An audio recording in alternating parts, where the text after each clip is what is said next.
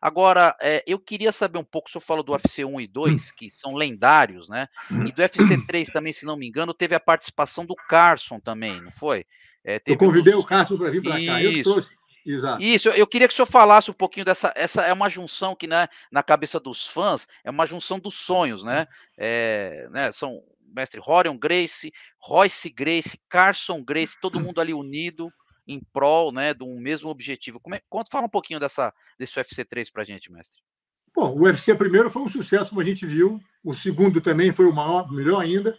Eu achei por bem que seria oportuno, entendeu? Interessante e, benefício, benéfico para todo mundo trazer o Cássio para fazer parte daquele sucesso também, que afinal de contas o Cássio é um cara que, pô, imprescindível na história da família Grace, entendeu? Um cara que foi, pô, uma influência, um, um trabalho maravilhoso, as lutas que ele fez, carregando o cetro da família durante muito tempo. E eu achei que a gente devia fazer essa homenagem e trazer o Cássio. Então, eu trouxe o Cássio para participar do negócio e fui lá participar do evento também. Foi ótimo, maravilhoso, entendeu? Eu acho que era uma coisa importantíssima que tinha que ser feita por ele, merece, entendeu?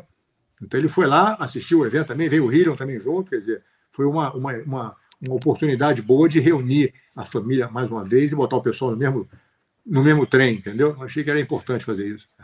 E o, o Carson ajudou a treinar algum período, o Royce ali, ou só participou mais, eh, chegou mais perto do evento, alguma coisa assim?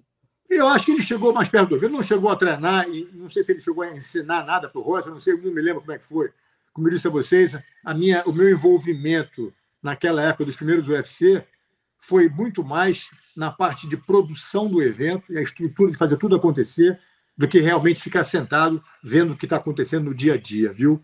Mas eu acho que só ter a presença do Cássio por perto foi bom, ajudou tanto ele quanto o Rio, só para dar aquele apoio, juntar a família toda. É sempre uma vibração muito positiva, muito forte.